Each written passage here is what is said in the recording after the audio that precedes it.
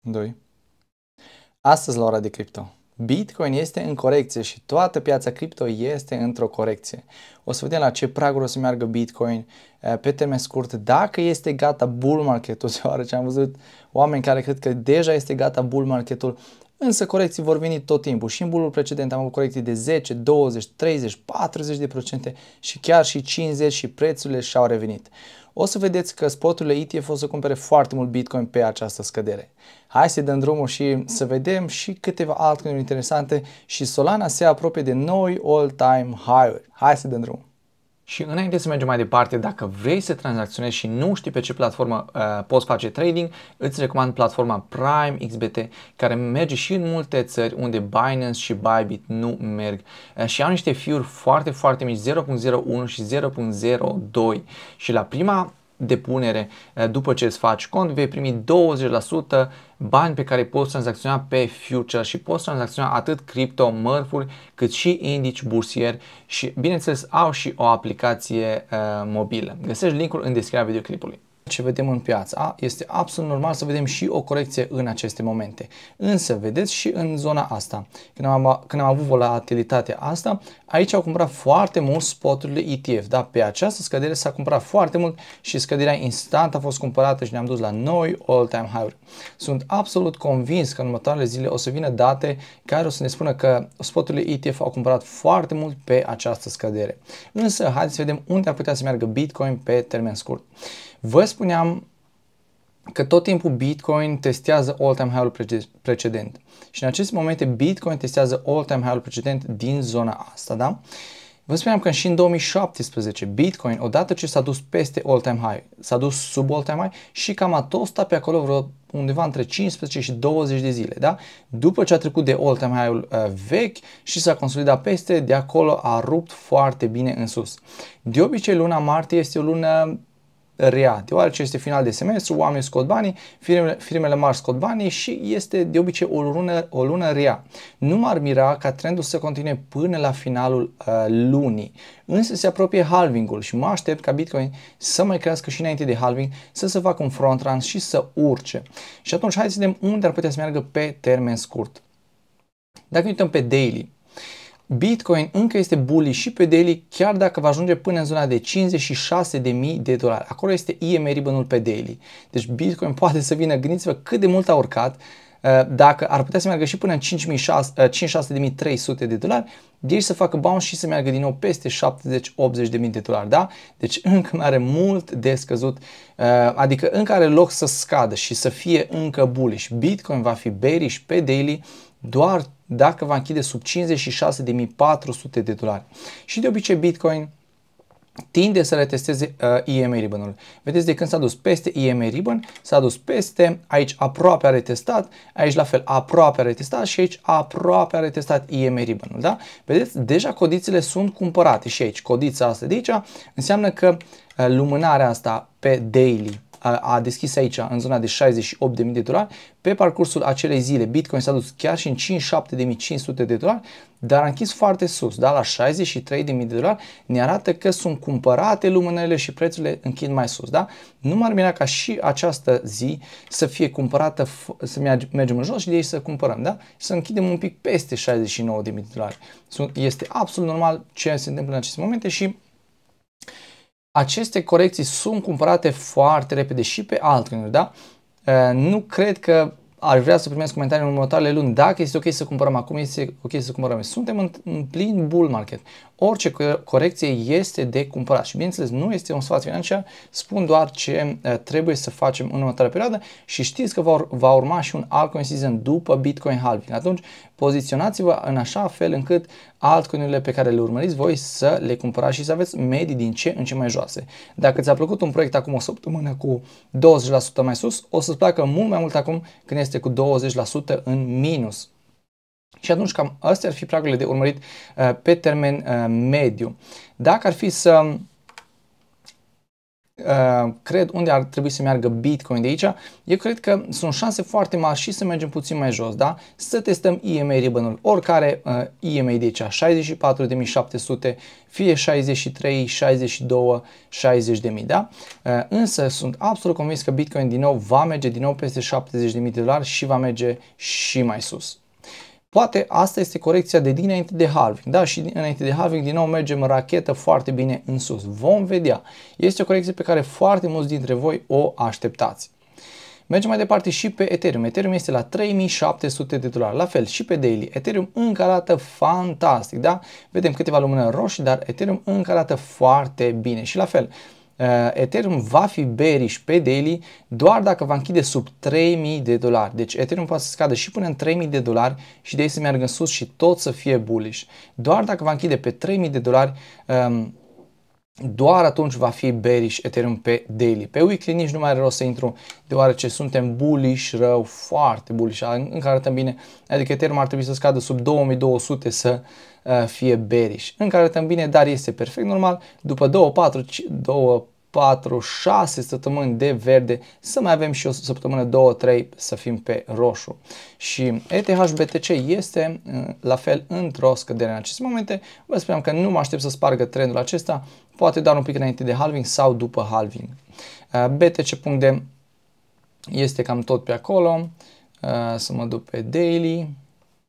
Da, 53, cam tot pe acolo se mișcă. Piața cripto, uh, totalul este 2,51 la fel. Uitați-vă cât de violent a mers uh, și sunt pe 3 zile, adică fiecare lumânare reprezintă 3 zile. Câte lumânări verzi am avut și vedem una roșie, după aia, mai sus una roșie și poate aici o să stăm ceva în zona de 2,5 înainte să mergem la 3 trilioane, care ar fi all-time high-ul din bull marketul precedent. Însă, Solana rupe norii. Solana este la 183 de dolari. Și vă spuneam că Solana de obicei duce, vedem că uh, car un pic altcoinurile în spate, cum s-a întâmplat și în zona asta de aici, da?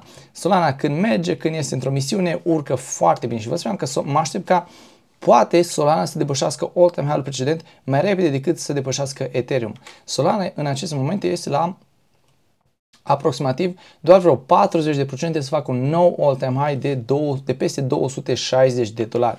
Solana arată fantastic și am mai vorbit de Solana și când a ieșit din acest triunghi simetric de aici, da? Era un pattern de continuare a trendului și de aici Solana a spart rezistența asta foarte mare, teoretic nu prea ar mai avea uh, rezistențe, doar undeva la 200 unde este și un prag psihologic, iar mai apoi se merge spre 250-260 de dolari și de acolo vine distracția. Uh, am făcut un video și despre Solana care cred eu că vor fi targeturile și vi-l recomand de pe canal, îl puteți găsi pe canal uh, și mă aștept ca Solana odată ce va sparge 260 de aici să meargă în Discovery Mode și să meargă foarte bine în sus. Și ca să vă uitați la altcoinele care se țin bine pe această corecție, uitați-vă în paritatea lor cu Bitcoin. Solana BTC urcă în aceste momente când Bitcoin scade. Atât de bullish este Solana și Vă spuneam de această zonă care este o zonă cheie, zona de 0618 pe Fibonacci. Odată ce va trece și de zona asta, Solana este foarte aproape de all-time high în paritate cu Bitcoin. Gândiți-vă că de obicei asta nu se întâmplă, adică am văzut și pe Ethereum în al doilea ciclu, uh, Ethereum nu a făcut un nou all-time high în paritate cu Bitcoin și Solana cu siguranță va face, adică nu mai are foarte mult să facă un all-time high în paritate cu Bitcoin. Uh, este undeva la vreo 80% uh, în funcție de Bitcoin și încă nici n-a început altcoin season-ul. Solana arată fantastic și odată ce va trece de această zonă în prima fază, iar mai apoi de această zonă în a doua fază, Solana va merge mult, mult mai sus și pe weekly la fel, uitați-vă cum arată pe EMA Ribbon, uh, este foarte mult sus peste EMA Ribbon, nu știu de ce nu se încarcă acum, însă Solana arată fantastic. Mergem mai departe și pe AVAX. AVAX este la 57 de dolari aproape. Uh, a trecut peste acest high de 50 și la fel, AVAX arată fantastic. Și mm, punem EMA ribbon la fel, vedeți? Ce vă spuneam și pe Bitcoin. Odată ce s-a dus peste, are testat, pac, pac, pac și deci are cale liberă. All time high este undeva la 147 de dolari pe AVAX, însă până acolo mai avem. Um, atins deja al doilea target AVAX, următorul target ar trebui să fie 77,93 120, 145 de dolari, dar cred că este doar începutul urcării și pe AVAX. Că mai are niște corecții pe termen scurt, este irelevant. Însă pe 3 zile, adică fiecare lumânare reprezintă 3 zile, AVAX este peste EMA 200 și peste EMA Ribbon. Acolo este un trigger foarte mare. Puteți vedea ce s-a întâmplat și pe Bitcoin și pe Ethereum și pe Solana și pe toate proiectele care au urcat. Odată ce au trecut pe paritatea lor în funcție de Bitcoin peste EMA200 și peste EMA Ribbon, de acolo acele proiecte au decolat. AVAX este acolo. Dacă menține în următoarele zile uh, zona de 7000 de Satoshi, de aici AVAX ar putea să meargă foarte bine în sus și uitați-vă încă cât de jos este față de Bitcoin, față de all-time high precedent uh, AVAX. Uh, hai să vedem în acest moment, este undeva la vreo 250% față de Bitcoin uh, și asta ne spune că AVAX încă mai are de urcat foarte bine și este doar începutul. AVAX arată foarte bine. Mergem mai departe și pe Hard tot timpul primesc mesaje după ce urcă hard foarte mult că are tendința asta să facă să urce vreo 50% în câteva zile, mai apoi primesc comentarii, este ok de cumpărat acum, este ok de cumpărat. Dacă ți-a plăcut hard la 5 cenți, o să-ți placă și la 3 cenți și jumătate în aceste momente. Pe daily formează un bull flag și vedem că avem un uptrend puternic pe hard care, a care a început din zona de 1 cent până în 5 cenți. Și în aceste momente putem vedea că avem un bull flag. Uh, vă spuneam că în următoarea săptămână va veni și conferința celor de la Nvidia și mă aștept un pic de hype din nou pe monedele de AI. Și atunci mă aștept uh, și pe hard să spargă acest bull flag în următoarele zile. Dacă va sparge acest bull flag, targetul primul ar fi cam din nou zona de 5 cenți. Doar până în zona asta de aici ar însemna o oricare de vreo 40 de procente. Doar până în 5 cenți. Uh, și dacă va trece de 5 cenți, următoarea rezistență ar cam trebui să fie spre 10 cenți, care este un prag psihologic foarte mare. Eh, dacă îți sparge 5 cenți, ar putea să meargă foarte repede spre zona de 10 cenți. Asta ar însemna o creștere de aproape 200%. Eh, și atunci, cred că aceste monede de AI vor urca foarte bine pe termen scurt și ați văzut că principala narrativă și din acest bull este AI-ul. Și atunci, cred că și ar va sparge rezistența asta de aici și uh, o să urmărim ce se va întâmpla în zona de 5 și dacă o să treacă. Mergem mai departe și pe SEI. Ne uităm un pic și la monedele care rezistă foarte bine în paritate cu Bitcoin în, aceast, în aceste momente pe corecție, deoarece putem anticipa care vor urca foarte bine când Bitcoin o să-și revină. SEI în aceste momente este la 89 de cenți și uh, tatonează zona asta de rezistență. A stat în zona asta sau în acest tipar uh, foarte mult timp, 70 de zile și SEI când urcă, urcă foarte bine, da? Și putem vedea că uh, formează acest uh, ascending triangle SEI. Odată ce SEI va trece de aici, din zona asta de 90 de cenți, de 1 dolar, uh, când va trece de 1 dolar, va intra în discovery mode. Și targetul pe SEI ar trebui să fie următorul.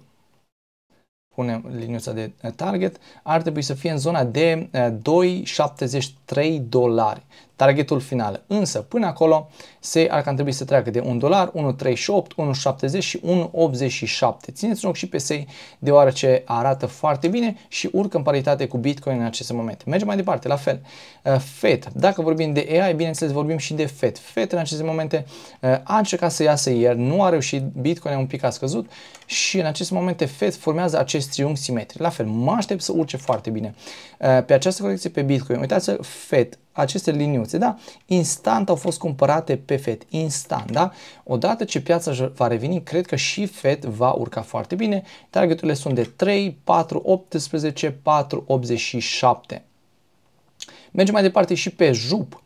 Am vorbit și de JUP exact în bottom din zona asta de 45-50. De atunci JUP s-a dublat, a urcat 100% și arată foarte bine în acest moment și vedem că tot ecosistemul uh, Solana urcă foarte bine și este în price discovery în aceste momente JUP și uh, dacă punem un Fibonacci putem vedea că va ajunge în zona de 1.13 foarte devreme.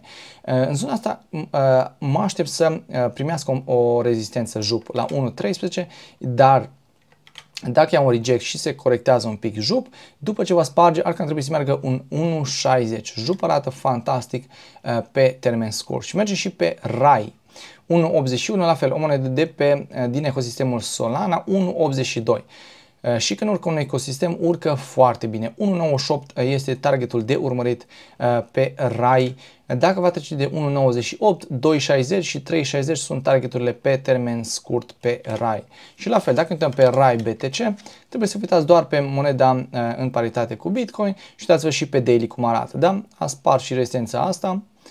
Pac, pac, bull flag-ul, da? De aici are cale liberă RAI să urce foarte bine până în prima fază în zona de 43.000 de satoshi, adică de aici oricare de aproximativ 70% în paritate cu Bitcoin. Ehm, este o colecție sănătoasă care ar cam trebui să fie cumpărată din punctul meu de vedere. Cam atât a fost pentru astăzi, pe data viitoare.